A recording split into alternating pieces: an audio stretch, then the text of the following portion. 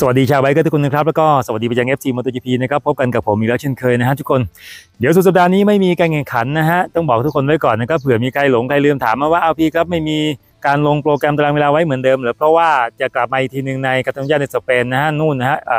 อีกประมาณสักสัปดาห์นิดๆครับ รอกันไปก่อนสัปดาห์ต่อไปนู่นนะสัปดาห์นี้ไม่มีรวมทั้งใน World Superbike ก็ไม่มีครับ World Superbike ก็จะหยุดยาวเลยนะครับทั้งเดือนนี้ก็ไม่มีการแข่งขันนะครับ ก็จะไปเจอกันอีกทีหนึ่งในกลางเดือนหน้านู่นนะฮะแล้วก็จะเป็นสนามแรกของรายการชิงแชมป์โลกประเภทหญิงนะครับซึ่งจัดขึ้นเป็นปีแรกเดี๋ยวรายละเอียดต่างๆเดี๋ยวเราค่อยว่ากันในตรงนั้นนะฮะทุกคนมีแต่ F1 นะฟอร์มูล่าวันที่อิโมลาในอิตาลีนะครับก็เดี๋ยวติดตามผมในช่อง YouTube นะครับช่อง ช่อง F1 Thailand กันด้วยนะครับ จะมีความเคลื่อนไหวนะครับ ข่าวสารอะไรที่มันอัปเดตเนี่ยมาฝากกันทุกวันกันอยู่แล้วเนาะเดี๋ยววันนี้เตรียมเรื่องราวของนะครับมาร์คมาเก็ตอ่านะฮะเมื่อพูดถึงนักแข่งมหาชนคนนี้แน่นอนนะครับ ว่าประเด็นต่างๆเนี่ยถูกแบบว่าให้ความสนุกสนใจกันเยอะเหลือเกิน ตามจริงเป็นประเด็นที่ผมมีงานเขียนไปแล้วครับใน Facebook Fanpage นะฮะแต่อยากจะแจ้งทุกคนเอาไว้ก่อนนะ บางท่านอาจจะรู้สึกประหลาดใจรู้สึกงงอ้าวพี่ปุ้ยครับ ก็ในเมื่อเขียนเล่ากันไปแล้ววิเคราะห์กันไปแล้วเนี่ย ทำไมจะต้องเอามาพูดมาคุยในตรงนี้กันอีก มันเป็นแบบนี้ฮะมันมีหลาย ๆ ท่านนะครับ ที่เคยบอกกับผมมาว่า มีปัญหากับการอ่าน อาจจะไม่สะดวกหรือจะเพราะยังไงไม่อินไม่อะไรก็แล้วแต่นะฮะแต่ชอบประเด็นนั้นอยู่ หรือบางท่านก็ไม่ได้เล่น Facebook อะไรอย่างเงี้ยก็เลยแบบว่าให้ผมเนี่ยนำมาเล่าดีกว่าไหมนะครับ หมายถึงว่าเอาเป็น 2 เวอร์ชันเลย ใครที่ชอบความรวดเร็วทันใจก็โอเคนะครับไปตามอ่านกันก่อนได้อะไรอย่างนี้ไง เพราะว่าก็จะ อย่างที่ผมบอกไปนะว่าทุกครั้งที่พูดถึงเรื่องราวของมาร์คมาร์เกซก็จะมีความคิดเห็นหลากหลายมุมมองนะครับ จากเพื่อนๆนะครับที่คอมเมนต์กันเข้าไปเนี่ยแต่ถ้าใครที่รอได้นะครับมาฟังบทสรุปในช่วงกลางคืนนะครับสามทุ่มสี่ทุ่มนะฟังกันก่อนนอนเนี่ยอันนี้ก็จะได้เป็นรสชาติเป็นกลิ่นเป็นอีกแบบหนึ่งใช่ไหมฮะเรื่องราวของมาร์คมาเก็ตนะครับที่จะพูดถึงเนี่ยก็คือจะมีอยู่ 2 ประเด็นเลยแล้วกันนะฮะก็ควบ 2 ไปเลยนะฮะก็คือประเด็นเรื่องของ ความต้องการเกี่ยวกับตัวรถนะฮะในปีหน้าว่าจะเป็นไปยังไง ประเด็นนี้ก็น่าสนใจครับ แล้วก็ประเด็นที่ 2 ก็คือ เป็นในเรื่องของอผมเนี่ยวิเคราะห์ออกมาในส่วนของทางสปอนเซอร์ ซึ่งนะครับก็จะเป็นเครื่องดื่มชูกำลังชื่อดังในวงการมอเตอร์สปอร์ตทุกคนรู้จัก Red Bull อยู่แล้วใช่ไหมฮะ แล้วก็ Monster อ่านะฮะก็ถ้าเปรียบเหมือนบ้านเราก็เหมือนประมาณ M100 ประมาณคาราบาวในแนวนั้นนะฮะเครื่องดื่มชูกำลังเครื่องดื่มชาร์จพลังอะไรต่างๆกันแล้วแต่จะเรียกกันไปเนี่ยนะ ว่ามันอาจจะมีบางสิ่งบางอย่างที่นะฮะต้องการบทสรุปจากมาร์คมาเก็ตนะครับเดี๋ยวเราเอาประเด็นในเรื่องของรถกันก่อนดีกว่านะครับก็มาร์คไปพูดกับทางสื่อชื่อดังของอิตาลีคือสกายนะฮะบอกว่าตอนนี้เขาไม่ได้เขาไม่เขาเปิดกว้างนะครับเขาไม่ได้มองแต่เรื่องของดูคติ เพราะว่าพวกเราที่ติดตามข่าวกันมาเนี่ยก็จะเห็นนะครับว่าสื่อเล็กสื่อใหญ่ในต่างประเทศเนี่ยเขาจะเล่นข่าวกันฉ่ำกันเลยเดียวนะฮะว่ามาร์คจะต้องไป ขึ้นทีมโรงงานจะต้องนู่นจะต้องนี่อะไรต่างๆ กันไหมอย่างเงี้ยใช่ไหมแต่เขาบอกว่าเขาเนี่ยเปิดกว้างทุกค่ายนะครับ ขอเพียงว่าเป็นรถสเปคโรงงานเท่านั้นรถที่มีวิวัฒนาการมีเทคโนโลยีแบบว่าที่เป็นรุ่นใหม่ล่าสุด แล้วก็จะต้องเป็นรถที่สามารถที่จะพาเขาเนี่ยไปต่อสู้เพื่อชิงแชมป์โลกได้ เขาบอกในตอนนี้ที่เขาย้ายมาขับดูคาติเนี่ยเหตุผลนะครับ ก็มีอยู่ 2 ข้อก็คือ1แหละเขาต้องการรถที่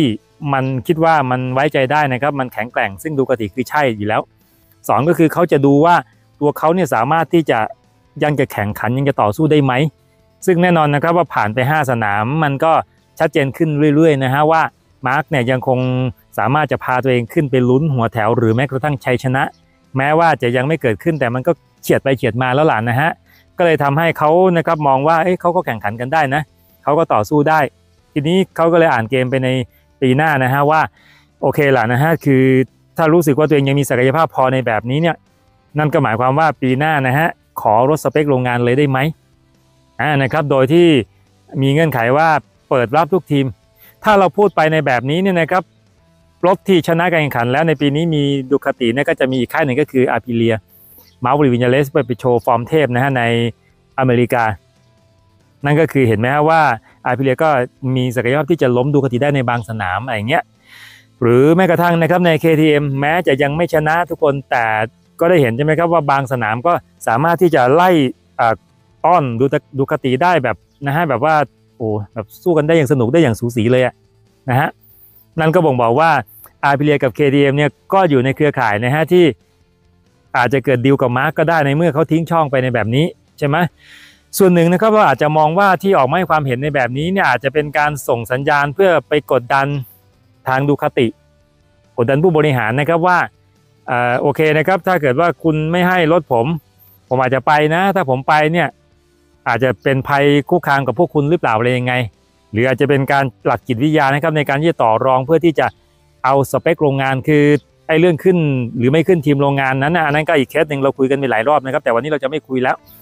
แต่ เราจะเอาแค่ตรงนี้นะครับว่าโอเคเขาต้องการลดสเปคโรงงานนะฮะโดยที่เขาไม่ได้โฟกัสว่าจะต้องไปใส่เสื้อสีอะไรจะเป็นเสื้อสีแดง หรือจะเป็นเสื้อสีส้ม หรือจะเป็นเสื้อสีดำแดงนะครับนั่นก็คือสิ่งที่มาร์กมาร์เกซสื่อสารออกมา แล้วทีนี้นะครับก็ประเด็นที่2เนี่ยมันก็จะเชื่อมโยงจากตรงนี้แหละประเด็นนี้แหละฮะก็คือ Monster มาเกี่ยวข้องยังไง Red Bull มาเกี่ยวข้องยังไง ทุกคนทราบดีใช่ไหมครับว่ามาร์กมาร์เกซนั้นกับ Red Bull พวกเขาก็คือความสัมพันธ์กันเนี่ยเอาแบบซี้ย่ำปึ้กนะฮะตั้งแต่มาร์กยังคงเป็นนักแข่งตัวกระเปี๊ยกเดียวนะครับ Red Bull ก็สนับสนุนนะเป็นสปอนเซอร์ส่วนตัวมาอย่างยาวนานเลยทีเดียว ก็คือมาร์กไปไหนก็คงจะตามไปตรงนั้นแหละใช่ไหมฮะทีนี้นะครับ Monster เนี่ยนะฮะก็ถือว่าเป็นเขาเรียกว่าคู่แข่งคนสำคัญในทั้งด้านการตลาดนั่นแหละโดยตรงนะฮะเพราะว่าขายเครื่องดื่มชูกำลังเหมือนกันนะฮะ Monster เนี่ยนะเขาก็อยู่กับดูคาติมานะฮะแล้วทีนี้ถ้า เกิดว่ามาร์กจะต้องขึ้นทีมโรงงานดูคาติไหมหรือว่าจะยังไงก็แล้วแต่เราไม่ทราบในตรงนั้นเนี่ยแต่นะฮะมันจะนะครับจะต้องแบบทำงานร่วมกันยังไงล่ะพอถึงวันนั้นเนี่ยนะครับมันจะสนับสนุนกันยังไง หรือว่ามาร์กจะต้องไปฉีกสัญญากับทาง Red Bull ไหมอันนี้ก็คือเป็นอย่างร้ายแรงนะครับ อันนี้เป็นแต่เพียงการคาดการณ์ไม่ใช่เป็นการฟันธงนะจะบอกให้เป็นการแบบว่านำเสนอมุมมองให้ได้เห็นนะฮะว่าโอเคนะครับคืออยู่ๆเนี่ย อาจจะมีการงัดกันหรือเปล่าระหว่าง Monster กับทาง Red Bull เนี่ยถ้าเกิดว่ามาร์กประสบความสำเร็จในแบบนี้ Monster เองก็อาจจะแบบว่าเฮ้ยอยากอยากอยากสนับสนุนเป็นสปอนเซอร์ส่วนตัวซึ่งในทางทฤษฎีทางปฏิบัติก็แล้วแต่มันก็คงยากใช่ไหมครับ ที่จะจะแย่งกันไปในแบบนั้น คือมันต้องมีหนึ่งเอาง่ายๆอ่านะฮะมันต้องมีหนึ่งถ้า Monster อยากได้คือต้องไม่มี Red Bull อะไรอย่างเงี้ยนะครับจากนั้นก็เลยประเด็นนี้ก็น่าสนใจนะฮะว่าว่าจะจัดการยังไง แล้วก็ Monster อ่าไม่ใช่แล้วก็ Red Bull เนี่ย ทุกคนก็รู้ดีกันดีนะฮะว่าพวกเขาไปจับมือกันกับ KTM เพื่อทำทีมแข่ง MotoGP ทุกวันนี้ทีม KTM ถ้าจะเอาชื่อเต็มเขาก็คือ Red Bull KTM นะฮะ Red Bull KTM Factory อ่านะฮะ นั่นหมายความว่า Red Bull ก็คือเป็นสปอนเซอร์หลักของ Marc Marquez จะเอาสปอนเซอร์ส่วนตัว แล้วก็เป็นสปอนเซอร์หลักสปอนเซอร์ใหญ่ของทีม KTM อยู่แล้วเนี่ย รวมทั้งแกสแกสด้วยนะฮะ อ่าก็เป็นสนับสนุนทั้งทั้งทีมหลักทีมรองของ KTM กันเลยทีเดียว ดังนั้นก็เลยเชื่อมโยงได้ง่ายขึ้นนะครับว่าเอาถ้าพูดมาในแบบนี้มาร์กก็ทิ้งโอกาสให้เห็นนะฮะว่า ผมอยากได้สเปคโรงงานนะ ผมอยากได้รถที่มันต่อสู้ที่มันแข่งขันได้ ที่จะพาผมไปลุ้นแชมป์โลกได้ในปีหน้า ถ้าช่องมันเปิดอย่างนี้แล้ว KTM เขาจะไม่สารต่อหรือฮะ แต่จะคุยกันแล้วได้ความว่ายังไงผมไม่รู้แต่มันคุยแน่ๆละตอนนี้ ทุกคนฮะเขาเขาวิ่งคุยกันหมดแล้วเชื่อไหมฮะ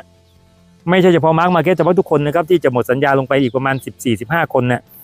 เขาก็วิ่งเต้นคุยกันหมดแหละในในตอนนี้มันต้องเริ่มคุยกันแล้วล่ะ บางทีคุยรอบแรกอาจจะไม่ผ่านอาจจะเป็นรอบ 2 รอบ 3 รอบ 4 ก็ว่ากันไป ดังนั้นถ้าโอกาสมันมาให้ KTM แบบนี้มีหรือฮะที่เขาจะไม่ลองถูกไหม แล้วก็ได้เห็นที่ผ่านมาใช่ไหมว่า KTM เขาก็ไม่ได้แบบปิดบังซ่อนเร้นอะไรนะฮะผู้บริหารก็ออกมาพูดหลายครั้งว่าโอเคแหละเขา อยากจะมีมาร์กมาร์เกซไปร่วมทีมนะเพราะเขามีความมั่นใจครับว่ารถของพวกเขามันต่อสู้ได้ ถามเพื่อนๆกลับไปนี่ฮะว่า KTM ในตอนนี้สามารถต่อสู้เพื่อนในหัวแถวได้ไหมอืมมันก็ตอบได้คนเลยมันก็ต่อสู้ได้นะฮะ เห็นไหมว่าเปโดร อคอสตาทำได้แบรดบินเดอร์เคยทำได้ แม้ว่าอ่าสี่สนามอาจจะทำได้ดีในในสนามแรกนะแบรดนะพอสองสามสี่แล้วก็ห้ามันเนี่ย drop ลงไป แต่เปโดรก็เหมือนกันนะครับก็มาช็อตช็อต drop ลงไปในสนามที่ 4 ที่ 5 แต่1นึ่งสองสามนี่เราได้เห็นแล้วใช่ไหมฮะว่า แม้จะยังไม่ชนะนะฮะแต่ก็คือบางสนามเนี่ยทำได้ดีอย่างอย่างผมวิเคราะห์เรื่องราวของ KTM ไปแล้วในในคลิปช่วงเมื่อเช้าบอดอ่าพอดแคสต์เนี่ยไปติดตามกันได้นะฮะผมพูดคุยเรื่องของปัญหาที่เจอมันมาจากทางตรงที่มันสั้นหรือเปล่าเลยทำให้ช็อตๆไปเนี่ยนะฮะไปตามฟังย้อนหลังกันได้เนาะเนี่ยนะครับแล้วก็สิ่งที่มันล่อตาล่อใจมากอย่างหนึ่งก็คือให้นะครับจะต้องหันมามอง KDM ก็คืออทุกคนทราบดีใช่ไหมครับว่าเปโดรคอสตานั้นนี่คือลูกกี้หน้าใหม่ครับ ก่อนที่เขาจะขึ้นมาเนี่ยก็อาจจะมีหลายคนค่อนแค้เขาพอสมควรนะฮะคือมีมีมีมีคำชมก็เยอะนะฮะแต่ในอีกฝากฝั่งหนึ่งอีกมุมหนึ่งก็จะมีคนที่คอยค่อนแค้นนะครับว่า โอ้ยเป็นแค่เด็กใหม่ไม่มีประสบการณ์แล้วอยู่ๆแล้วจะมาขึ้นหัวแถวจะมาต่อสู้เพื่อ top 5 top 10 มันไม่ได้ง่ายขนาดนั้นหรอกนะทุกวันนี้ Ducati ก็แข็งแกร่งเหลือเกิน ทุกวันนี้ก็นักแข่งรุ่นพี่เนี่ยแบบโอ้โหนะอย่างน้อยก็น่าจะสี่ห้าคนอะไรอย่างเงี้ยนะครับหลายคนก็อาจจะประมาทสบประมาท ดาวรุ่งคนนี้วัย 19 ปีเองนะฮะไว้แต่นะครับเขาก็สร้างความโดดเด่นเขาก็สร้างความแตกต่างได้ตั้งแต่การทดสอบการ test รถใน pre-season ทั้งสองรอบที่ที่มาเลเซียแล้วก็กาตาร์เสียด้วยซ้ำใช่ไหมพอ pre-season test ได้ดีนะครับก็ยังคงไม่ร้อยเปอร์เซ็นต์หรอกนะครับก็ยังคงมีมีเสียงวิพากษ์วิจารณ์อยู่ว่าให้แข่งเสร็จเถอะ พอแข่งปุ๊บหนึ่งสองสามในตอนนี้ Pedro Acosta นั้นคะแนนสะสมของเขานะครับก็ถือว่า ยังคงอยู่ในเส้นทางนะครับตามหลังอยู่ 50 กว่าแต้มเนี่ยนะยังคงอยู่ในเส้นทางแล้วก็น่าจะมีโอกาสได้ลุ้นในระดับหัวแถว หรือแม้กระทั่งชัยชนะอยู่นะฮะเพียงแต่ว่าจะไปออกจากสนามไหน ทีนี้มาร์กมาเก็ตลองพิจารณาดูว่าเด็กใหม่เช่นเปโดรนะครับยังไม่มีพรอาจจะไม่มีประสบการณ์เลยเนี่ยนะฮะอาศัยแค่พรสวรรค์พรแสวงอย่างเดียวเนี่ยยังไปได้ดีกับ KTM เลยใช่ไหมแล้วตัวเขาล่ะฮะตัวเขาที่ประสบการณ์เรียกว่าเพียบพร้อมขนาดนี้นะครับแล้วก็ร่างกายไม่ได้มีอาการบาดเจ็บในตอนนี้เนี่ย มันจำเป็นที่จะต้องมาปรับเนื้อปรับตัว จะต้องมาเริ่มต้นใหม่แล้วถ้าคิดมุมนี้นะ เพราะว่าอาจจะมีหลายๆคนเป็นห่วงนะครับว่าโหมาร์กเนี่ยคืออยู่ดูคติเหมือนเดิมน่าจะดีกว่าไหมกำลังปรับเนื้อปรับตัวกับรถได้ แต่ทุกคนเห็นไหมครับว่ามาร์กปรับตัวได้กับดูคติเนี่ยใช้เวลาแค่ 3 สนามเองนะฮะสามสนามนี้ก็ปรับตัวได้แล้วเห็นปะอะไรนั้นก็คือถ้าไป KTM เนี่ยก็คงขนาดว่าวัดจากเปโดที่ไม่มีประสบการณ์ใดๆเลยเนี่ยก็ยังปรับตัวแล้วก็เรียนรู้ได้เร็ว แต่นั้นตรงนี้นะครับมันเป็นเหตุผลที่มาสนับสนุนนะฮะว่า ถ้านะครับ มาร์กเจรจากับ Ducati จะไม่ลงตัวด้วยเหตุผลใดก็แล้วแต่หรือถ้ามาเจรจากับ KTM แล้วมาชั่งน้ำหนักดูว่า KTM น่าสนใจกว่าก็นะครับ ไม่มีเหตุผลที่เขาจะปฏิเสธนะ เพราะว่าถ้าเป็นเรื่องของรถเรื่องของทีมเรื่องของอะไร KTM ก็คือ เป็นทีมที่มีศักยภาพที่ดีนะครับเรื่องของงบประมาณเรื่องของนู่นนี่นั่นอะไรก็แล้วแต่ โดยในตอนนี้เคสของมาร์กเนี่ยเราให้เราให้เราอย่าไปมองเรื่องของค่าเหนื่อยค่าจ้างครับอ่าก็คือถ้าจะไปหวังว่าเขาจะต้องการ ค่าเหนื่อยค่าตัวที่มันมากเท่าเดิมเนี่ยเขาเขาไม่ต้องการตรงนั้นหรอกฮะแต่หนักแข่งก็เหมือนเป็นอาชีพทุกคนทำงานก็ต้องได้ตังค์ใช่ไหมฮะแต่ผมก็ไม่ทราบนะครับว่าค่าตัวของมาร์กมันจะไปอยู่ที่เท่าไหร่นะครับในปีหน้า ถ้าเกิดว่าการเจราจาเกิดขึ้นเนี่ยผมมองว่าถ้าให้เอาเรื่องเงินมามามามาสู้กันนะสมมุตินะให้เอาเรื่องเงินมาสู้กันเนี่ยผมว่า KTM เข้าจ่ายได้ดีกว่าดูคติครับ แต่ด้วยความที่มาร์กเนี่ยจะไม่จะไม่มองเรื่องของเงินไง แต่เขาจะมองเรื่อง อื่น ซึ่งก็คือมีอยู่ 2 เรื่องนะครับหนึ่งก็คือสเปครถปีล่าสุด 2 ก็คือรถคันนี้มีศักยภาพพร้อมที่จะต่อสู้ได้หรือเปล่า ดังนั้นในตอนนี้นะครับแน่นอนว่ามาร์คพูดออกมาในแบบนี้อาจจะหวังผลในเรื่องของกดดัน ผู้บริหาร Ducati ด้วยส่วนหนึ่ง แต่ผมว่าเขาก็มีส่วนคิดจริงเหมือนกันนะฮะว่าเขาอาจจะเปิดใจกับทีมอื่น ซึ่งซึ่งเราไม่ต้องไปมอง 2 ค่ายจาก Honda อาจจากจากญี่ปุ่นนะครับทั้ง Honda ทั้ง Yamaha นะฮะเรามองแค่ KTM กับ i b เ i a นี่พอแล้ว ผมว่าเขาเขาน่าจะเปิดกว้างนะครับ ในตอนนี้เขาเขาถึงได้ได้บอกมาในแบบนี้นะฮะทุกคน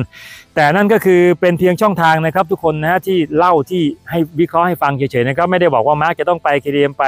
อาพิเลียนะครับ เพราะว่าอะไรมันก็เกิดขึ้นได้ ผมว่าในตอนนี้ก็คือดูกติเองอย่างที่ผมเคยวิเคราะห์ให้ฟังแล้วในน่าจะ 2 วันก่อนนะครับ อันนี้จะไม่เล่าย้อนนะครับว่าเพราะอะไรมาร์กจะต้องอยู่ Ducati หรือว่า Ducati จะต้องดำเนินแผนยังไงอะไรต่างๆนะครับ ให้เพื่อนๆไปตาม ฟังย้อนหลังกันเอาเองนะทุกคน